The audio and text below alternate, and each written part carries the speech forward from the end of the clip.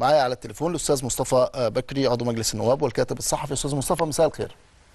مساء الخير أستاذ عمرو. أهلا وسهلا. أهلا بحضرتك. أم، أستاذ مصطفى آه، يعني طيب ما هو الأستاذ فريد الديب بيقول إنه آه، موكله موجود في أحد إحدى المستشفيات لتلقي العلاج يعني ما هربش يعني أنا آه، لدي الخطاب الذي أرسلته وزارة الداخلية إلى نيابة وسط القاهرة. من. حقنا أن نتساءل هذا الخطاب الذي وصل إلى النيابة والذي نشر في كافة وسائل الصحافة والإعلام يقول أن الداخلية لم تعثر على حبيب العدلي في منزله. ومن ثم فالأمر الطبيعي أنه هرب من هذا المكان إلى مكان آخر اختفى فيه في الفترة الماضية. عندما يقول آه، المحامي فريد الديب آه، الموكل عن حبيب العدلي إن موكله موجود في أحد المستشفيات أعتقد أن هذا الأمر لن يخفى عن عن وزارة الداخلية. لو كان موجودا بالفعل في أحد المستشفيات أعتقد أن الوزارة ستلقي القبض عليه وتسلمه إلى المحكمة على الفور. خاصة وان المحكمة طالبت بسرعة القبض عليه واليوم رفضت الإشكال المقدم منه في آه، الحكم وقررت استمرار تنفيذ الحكم. نحن أمام آه، قضية هامة وخطيرة. آه، أن يهرب شخص بوزن حبيب العدلي وزير داخلية أسبق من منزله وهناك حكم صادر ضده هذا أمر يدعو إلى التساؤل وعلامات الاستفهام.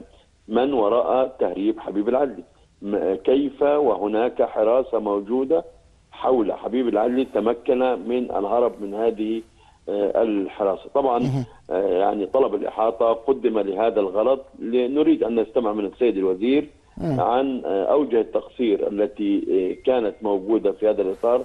نحن نعرف أن هناك حراسة خاصة كانت حول حبيب العدلي طب أستاذ مصطفى كان هناك أحد تواطأ في ذلك فماذا جرى؟ نريد أن نفهم الحقيقة كاملة. طب- هل بالفعل هرب من منزله أم من مكان آخر؟ طب أستاذ مصطفى أنا هسألك دلوقتي ككاتب صحفي مش كعضو مجلس نواب يعني في خلال الساعات الماضية من ساعة ما حضرتك تقدمت بطلب إحاطة إلى المجلس لغاية هذه اللحظة اللي حضرتك بتكلمني فيها ما جاتلكش أي معلومات كصحفي إنه حبيب العدلي موجود في مصر خرج بره مصر يعني لا أحد يعلم ولا حتى وزارة الداخلية لديها معلومات وإلا كانت قالت هذا الأمر.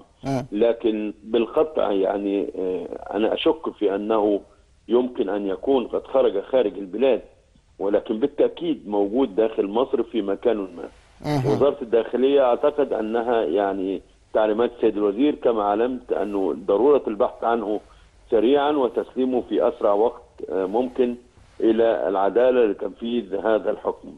متى يحدث ذلك؟ كيف يتم ذلك؟ كل ذلك لا يغني عن أن هناك تقصير قد حدث من آه، آه، ال- المجموعة الأمنية التي تحرس حبيب العدلي والتي آه، في ضوئها تمكن من الهرب إلى منطقة ما لا أحد يعرفها حتى الآن. مهم. وحتى يعني كلام يعني أو الكلام اللي خلينا نقول بشكل دقيق الكلام المنسوب للأستاذ فريد الديب اللي هو بيقول فيه إنه موكله موجود داخل إحدى المستشفيات لتلقي العلاج ال- العلاج يعني برضو كلام يعني يطرح التساؤل أكثر ما يجيب على أين حبيب العدلي يعني طب إذا كان موجود في إحدى المستشفيات ما تقول على اسم هذه المستشفى وخلاص ويا دار ما دخلك شر بالتأكيد وإذا كان موجودا والاطباء أقروا ببقائه في المستشفى فسوف يبقى في المستشفى.